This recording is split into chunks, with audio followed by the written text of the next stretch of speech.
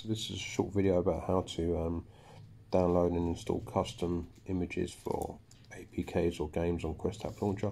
So what you want to do is you want to create a folder, call it whatever you want, and then um, on your desktop or somewhere you can find it, and go to Google, type in, I'm going to use this as an example because it's like a demo, this isn't actually a full game that's available.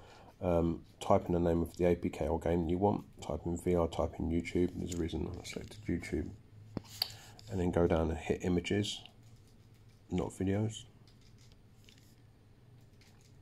And then what you want to do, if you don't want one with black bars, you obviously want like a full screen picture. So I'm going to scroll down.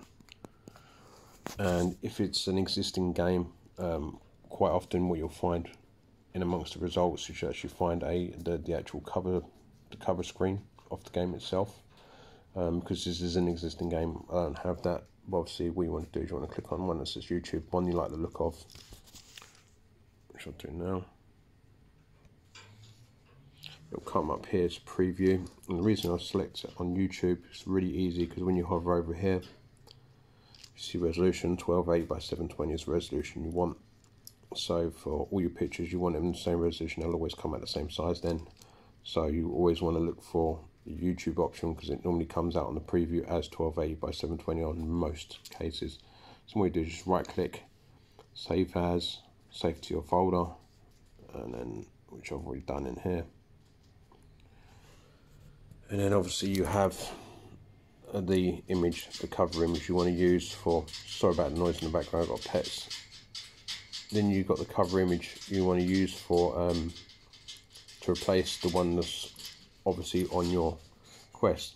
So what you do is you go into the Quest, um, you plug it in, you allow um, the computer to use it, uh, to you allow the computer to access it. So on the headset you click on allow, and then you go into the settings and you want to go into Android, um, Quest app launcher, and then sorry, Android data or Quest app launcher. I can't remember which way around it is, but you basically get into there and then you go into files within the Quest app launcher, and um, you actually save this image to there. And then what you do is you actually rename this to the actual APK name you have. Now, as you're going into the Quest App Launcher folder, you'll see a folder, I believe it's in data, it might be in Android, and it'll have a list of all your APKs on your device. And you can actually find the, the, the actual correct, the, the named one for that. So, as an example, if this was Red Alert 2, it'll be like com something so and so games, Red Alert 2.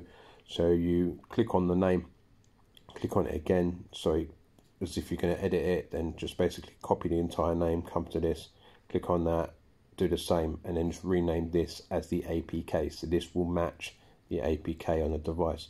You save this as it is. So in your files folder, you will have a list of these JPEG images, all 1280 by 720, all renamed to the same as the APKs on your device. Then what you do is you start restart your device, fire up Quest App Launcher, and all the pictures would have been replaced by the new pictures which you now have um, and that's how you um, that's how you easily replace the pictures and that's also how you easily find the pictures. Sorry that I'm recording on my phone. I don't have screen capture to do this.